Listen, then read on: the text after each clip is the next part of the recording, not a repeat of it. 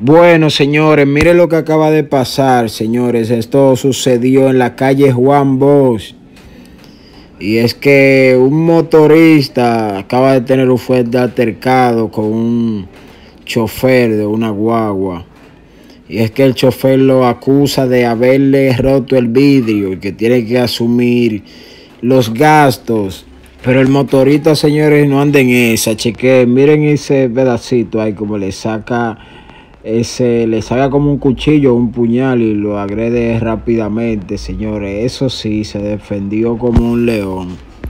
Y vemos que el motoconcho se rehúsa a hacer eso, señor. Si alega que él no tiene nada que ver con lo que lo están acusando, quiero que lo escuchen ustedes mismos. Esto es lo que acaba de pasar, esto está prendido. En seguro.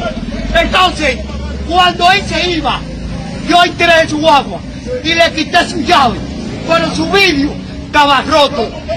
Él no me va a pegarse muerto a mí. Él tiene que pagarme lo mío. Es que tú puedes ir al izquierdo. Vamos a ir a la como tú quieras, Ten mucho cuidado, a mí no me toca. A mí no me toca. No me toque. Así como lo acaban de escuchar, señores, en el video podemos observar a simple vista que el acusado es una persona ya mayor de edad.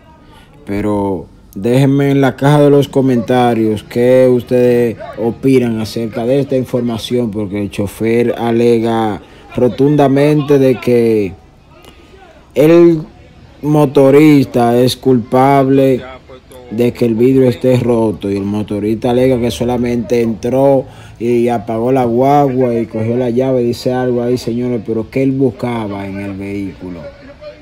Vamos a escuchar, vamos a seguir escuchando. A mí no me toca.